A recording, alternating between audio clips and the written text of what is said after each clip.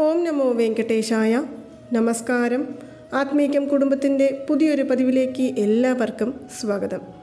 നമ്മുടെ ഇന്നത്തെ പതിവിലൂടെ ഒരുപാട് പേരുടെ സംശയങ്ങൾക്കുള്ള ഉത്തരമായ വരാഹി ദേവി വഴിപാടിനെ കുറിച്ചാണ് കാണാൻ പോകുന്നത്.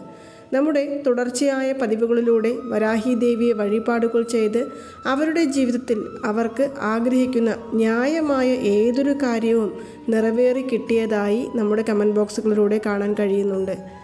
എങ്കിലും ചിലർക്കെങ്കിലും ഒരുപാട് സംശയങ്ങളുണ്ട്. വരാഹി ദേവിയുടെ പടമോ വിഗ്രഹമോ വീടുകളിൽ വയ്ക്കാൻ സാധിക്കുമോ?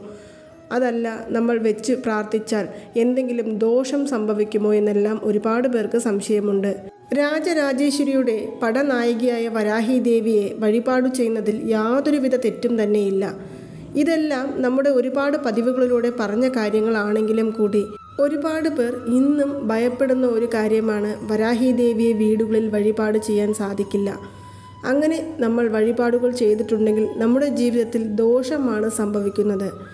നമ്മൾ വിഗ്രഹങ്ങളും പടങ്ങളും വെച്ചു തന്നെയാണ് വഴിപാട് ചെയ്യേണ്ടത്.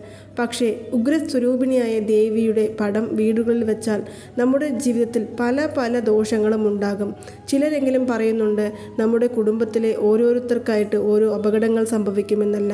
ഞാൻ ഒരുപാട് പതിവുകളിലൂടെ പറഞ്ഞിട്ടുണ്ട് വരാഹി ദേവി നമ്മുടെ അമ്മയാണ്. നമ്മുടെ അമ്മയെ നമ്മൾ പ്രാർത്ഥിക്കുമ്പോൾ അല്ലെങ്കിൽ നമ്മുടെ അമ്മയെ നമ്മൾ സ്നേഹിക്കുമ്പോൾ എങ്ങനെയാണ് നമ്മുടെ ജീവിതത്തിൽ ദോഷമായ കാര്യങ്ങൾ സംഭവിക്കുന്നത്? അതല്ലെങ്കിൽ മോശപ്പെട്ട കാര്യങ്ങളിലൂടെ നമ്മൾ പോകുന്നത് എന്നെല്ലാം നിങ്ങൾ തന്നെ ചിന്തിച്ചു നോക്കുക. ഇനി ഒരു പക്ഷേ നമുക്ക് നിർബന്ധമായും പടമോ വിഗ്രഹമോ വീടുകളിൽ വെച്ച് പ്രാർത്ഥിക്കണമെന്നാണ് ആഗ്രഹം.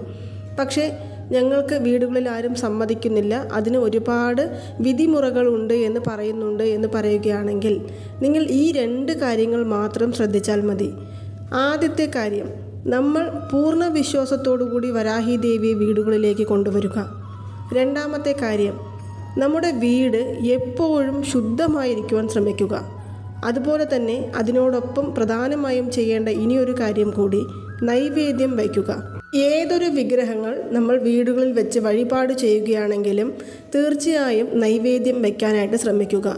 ഒന്നും വയ്ക്കാനില്ല എന്നുണ്ടെങ്കിലും കൂടി നമ്മുടെ വീട്ടിലുള്ള ഏതെങ്കിലും പഴവർഗങ്ങളിൽ ഏതെങ്കിലും ഒരെണ്ണം നൈവേദ്യമായി വയ്ക്കാം അതുമില്ലെങ്കിൽ നമ്മുടെ വീട്ടിലുള്ള ഡയമണ്ട് കൽക്കണ്ടം നമുക്ക് നൈവേദ്യമായിട്ട് വയ്ക്കാം ഇതൊന്നുമില്ല ഞങ്ങളുടെ വീടുകളിൽ ഒരു സാധനം പോലും നൈവേദ്യം വെക്കാനില്ല എന്ന് പറയുന്നവരാണെങ്കിൽ ശുദ്ധമായ ഒരു ഗ്ലാസ് വെള്ളമെങ്കിലും നമ്മൾ ഏത് വിഗ്രഹമോ പടമോ വെച്ചിരിക്കുകയാണെങ്കിലും അവിടെ വെച്ച് പ്രാർത്ഥന ചെയ്യാനായിട്ട് ശ്രമിക്കുക. ഇത് വരാഹി ദേവിയുടെ വിഗ്രഹം വയ്ക്കുന്നവർക്ക് മാത്രമല്ല ഏത് വിഗ്രഹം വെച്ച് വഴിപാട് ചെയ്യുന്നവരും പ്രത്യേകമായി ശ്രദ്ധിക്കേണ്ട ഒരു കാര്യമാണ്.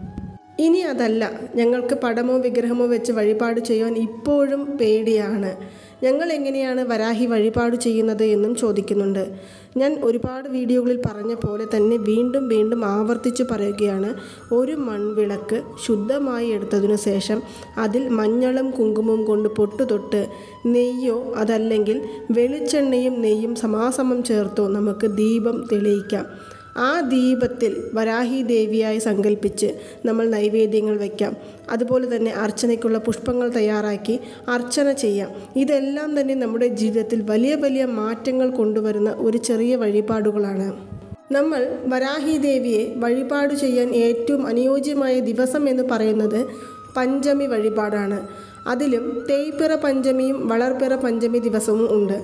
ഇതിൽ തേയ്പിറ പഞ്ചമി ദിവസം വഴിപാട് ചെയ്താൽ നമ്മൾ അനുഭവിക്കുന്ന ദുഃഖങ്ങളും ദുരിതങ്ങളും തേഞ്ഞു മാഞ്ഞ് ഇല്ലാതായി പോകും. സാധാരണ കർക്കിടക മാസത്തിൽ അംബികയെ വഴിപാട് ചെയ്യുവാൻ ഏറ്റവും അനുയോജ്യമായ ദിവസങ്ങളാണ്. അതുപോലെ തന്നെ അംബികയായി നമ്മൾ കരുതുന്ന ആദി പരാശക്തി അതല്ലെങ്കിൽ നമ്മുടെ രാജരാജേശ്വരി ദേവിയുടെ പടനായികയായ വരാഹി ദേവിയെ ഈ കർക്കിടക മാസത്തിൽ വരുന്ന പഞ്ചമി ദിവസത്തിൽ നമ്മൾ വഴിപാട് ചെയ്തു വന്നാൽ നമ്മുടെ ജീവിതത്തിലെ സകല ദുഃഖങ്ങളും ഇല്ലാതായി തീരും. കാരണം വളരെ അപൂർവമായി വരുന്ന ഒരു പഞ്ചമി ദിവസം കൂടിയാണ് ഈ വരുന്ന അതായത് അഞ്ചാം തീയതി ഉച്ചയ്ക്ക് മൂന്ന് മുപ്പത്തിയേഴ് മുതൽക്ക് ഞായറാഴ്ച ഉച്ച ഒന്ന് മുപ്പത്തിയേഴ് വരെയാണ് പഞ്ചമി തിഥിയുള്ളത്. ഇതിൽ ഞാൻ നേരത്തെ തന്നെ പഞ്ചമി തിഥിക്ക് എന്ത് വഴിപാടാണ് ചെയ്യേണ്ടത് എന്നും പറഞ്ഞിട്ടുണ്ട്. അതുപോലെ തന്നെ കാര്യസിദ്ധി സമയം ഏതാണ് എന്നും പറഞ്ഞിട്ടുണ്ട്. അപ്പോൾ ചിലരെങ്കിലും കാര്യസിദ്ധി സമയം ഒന്നും എടുക്കുന്നില്ല. ഞങ്ങൾക്ക് പഞ്ചമി തിഥിയിൽ വരാഹി ദേവിയെ വഴിപാട് ചെയ്താൽ മാത്രം മതി എന്നാണെങ്കിൽ ഒന്നുകിൽ ശനിയാഴ്ച വൈകുന്നേരം ആറു മണിക്ക് ശേഷം ദേവിയെ വഴിപാട് ചെയ്യുക. അതല്ലെങ്കിൽ ഞായറാഴ്ച സ്വസ്ഥമായി ഇരുന്ന് ഞങ്ങൾക്ക് പൂജകളും വഴിപാടുകളും ചെയ്യണമെന്നുണ്ടെങ്കിൽ നിങ്ങൾ ഞായറാഴ്ച രാവിലെ ബ്രഹ്മമുഹൂർത്ത സമയം മുതൽക്ക് പത്ത് മണിവരെയുള്ള ഏത് സമയം വേണമെങ്കിലും വരാഹി വഴിപാടിനായി എടുക്കാം. നമ്മൾ വരാഹി വഴിപാട് ചെയ്യുവാൻ തുടങ്ങുന്നതിന് മുൻപ് നമ്മൾ അതിന് വേണ്ട പൂജയ്ക്ക് വേണ്ട തയ്യാറെടുപ്പുകളെല്ലാം നടത്താം. ഒരുപാട് പേർ വീടുകളിൽ തന്നെ തേങ്ങാദീപ വഴിപാട് ചെയ്യുന്നുണ്ട്. തേങ്ങാദീപ വഴിപാട് ചെയ്യുന്നവർ ആ വഴിപാട് മുടക്കരുത്. അതിനോടൊപ്പം തന്നെ നമുക്ക് ഞാൻ ഈ പറയുന്ന മന്ത്രം ചൊല്ലി വഴിപാടുകൾ ചെയ്യാവുന്നതാണ്. ദേവിയുടെ വഴിപാടിനായി നമ്മുടെ വീടുകളിലെ ഏത് പുഷ്പങ്ങൾ എടുക്കണമെന്നും ചിലർക്ക് സംശയമുണ്ട്. ചുവന്ന നിറത്തിലുള്ള പുഷ്പങ്ങളോ അതല്ലെങ്കിൽ നീല നിറത്തിലുള്ള ശംഖുപുഷ്പമോ നമുക്ക് ദേവിയെ വഴിപാട് ചെയ്യുവാനായിട്ട് എടുക്കാം. ഇതിനോടൊപ്പം തന്നെ ഞാൻ നേരത്തെ പറഞ്ഞ പോലെ ഏത് നൈവേദ്യം വേണമെങ്കിലും ദേവിയുടെ മുൻപിലേക്ക് സമർപ്പിക്കാം. ശർക്കര വെള്ളിക്കിഴങ്ങ് അതല്ലെങ്കിൽ നിലക്കടല അതുമല്ലെങ്കിൽ കരിമ്പ് പഴം മാതുളം എന്നിങ്ങനെ ഏത് പഴവർഗങ്ങളാണോ അതെല്ലാം ദേവിയുടെ മുൻപിലേക്ക് സമർപ്പിക്കാം. പടം വെച്ച് പ്രാർത്ഥിക്കുന്നവരും അതല്ലെങ്കിൽ പടമില്ലാതെ ദീപജ്യോതിയിലൂടെ വരാഹി ദേവിയെ മനസ്സിൽ ധ്യാനിച്ച് പ്രാർത്ഥിക്കുന്നവരും ഈ ദിവസം ആദ്യം വിനായക ഭഗവാനെയും നമ്മുടെ കുലദൈവത്തെയും വണങ്ങണം. നമ്മൾ ഏത് പൂജകളും വഴിപാടുകളും ചെയ്യുകയാണെങ്കിലും ആദ്യം കുലദൈവാനുഗ്രഹവും വിനായക ഭഗവാന്റെ അനുഗ്രഹവും നമ്മുടെ ജീവിതത്തിൽ ആവശ്യമാണ്. അതിനുശേഷം നിങ്ങൾ ഏതെങ്കിലും ഒരു പ്രാർത്ഥന മനസ്സിൽ നല്ലവണ്ണം വിചാരിച്ച ശേഷം വരാഹി ദേവിയുടെ മുൻപിൽ ഇരുന്നു കൊണ്ട് നമ്മുടെ പ്രാർത്ഥന നമ്മൾ ദേവിയുടെ മുൻപിലേക്ക് സമർപ്പിക്കുക. വിശ്വാസത്തോടു കൂടി നിങ്ങൾ ചെയ്യുക.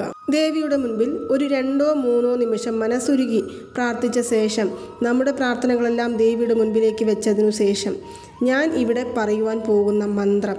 നിങ്ങൾ ഒരു ദിവസത്തിൽ നൂറ്റിയെട്ട് തവണ ജപിക്കുക.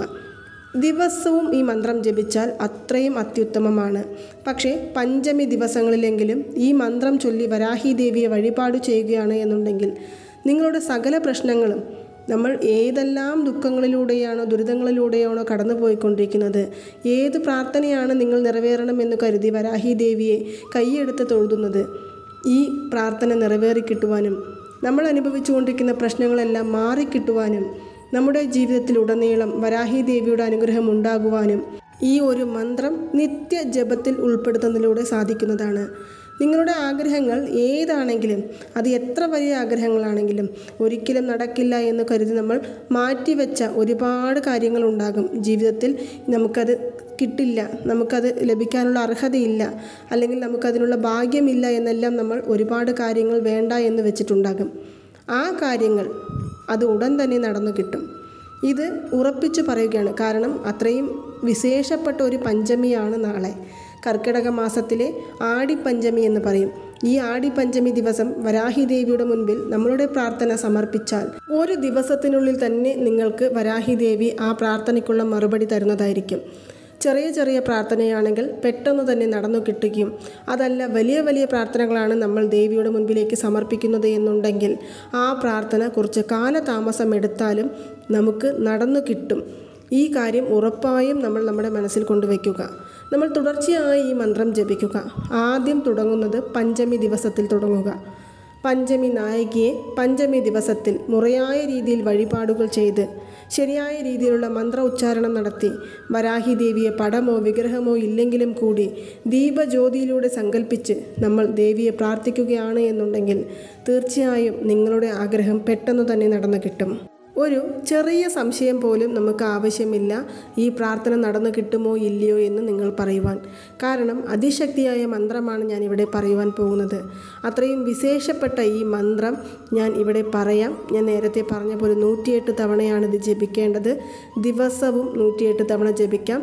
ദിവസവും ജപിക്കുമ്പോൾ ഏത് സമയമാണ് തിരഞ്ഞെടുക്കുന്നത് എന്ന് ചിലർക്ക് സംശയമുണ്ടാകും. ബ്രഹ്മമുഹൂർത്ത സമയത്തിൽ ഏതൊരു മന്ത്രം ജപിക്കുകയാണെങ്കിലും ആ മന്ത്രത്തിന്റെ ഫലം ഇരട്ടിയായി നമുക്ക് ലഭിക്കുന്നതായിരിക്കും. അതിനാൽ തുടർച്ചയായി ജപിക്കുന്നവർ ബ്രഹ്മമുഹൂർത്ത സമയത്ത് ഒരു നെയ്ദീപം തെളിയിച്ച് ഈ മന്ത്രം പറയുവാൻ ശ്രമിക്കുക. മന്ത്രം ഇതാണ് ഓം ക്ലീം വരാഹമുഖി ഹ്രീം സിദ്ധി സ്വരൂപിണി ശ്രീ ധനവശങ്കരി ധനം വർഷ സ്വഹ.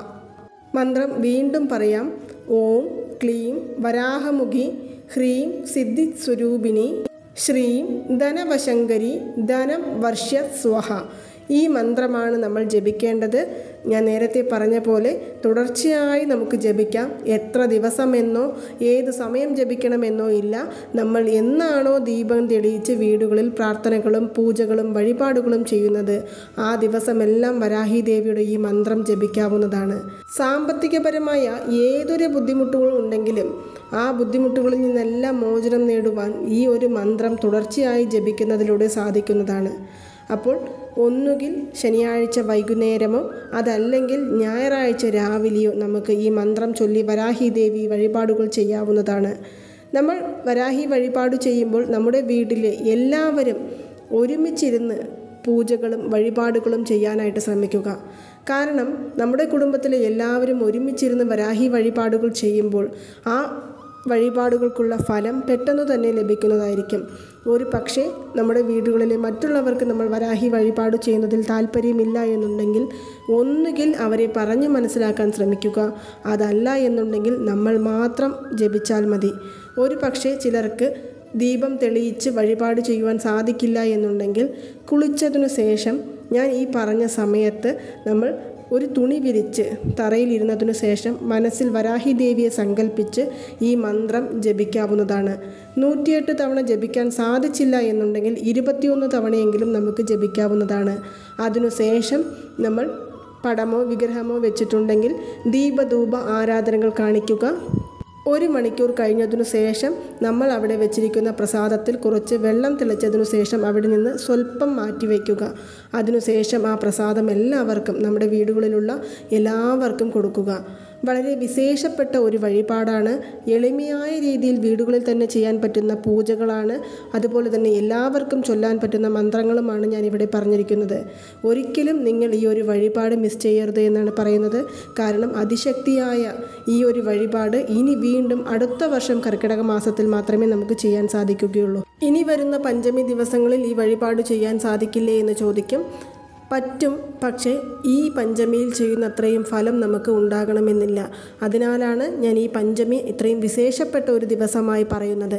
അപ്പോൾ നിങ്ങൾക്ക് എല്ലാവർക്കും ഈ വീഡിയോ ഇഷ്ടമായി കാണുമെന്ന് വിശ്വസിക്കുന്നു. ഈ വീഡിയോ ഇഷ്ടമായാൽ മറ്റുള്ളവരിലേക്കും കൂടി എത്തിക്കാൻ ശ്രമിക്കുക. നന്ദി നമസ്കാരം.